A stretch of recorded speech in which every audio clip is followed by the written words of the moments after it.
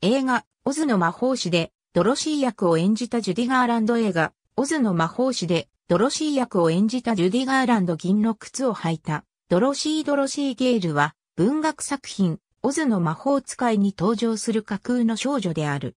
同作品の主人公として登場する。1939年に公開された映画、オズの魔法師では、ジュディ・ガーランドが主人公のドロシー役を演じた。アメリカ・カンザスの農場に、M、おばさん、ヘンリーおじさん、飼い犬のトトと共に暮らしていたドロシーは、ある日、トトと共に、竜巻に、家ごと巻き込まれて、不思議なオズ王国の中のマンチキンの国へと飛ばされてしまう。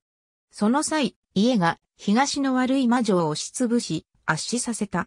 ドロシーは北の良い魔女に死んだ魔女が履いていた銀の靴を履かされる。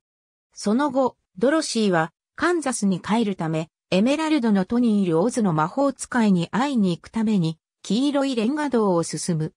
その途中、彼女は知恵がないかかし、心を持たない、ブリキの木こり、臆病なライオンと出会い、共にエメラルドの都へと向かう。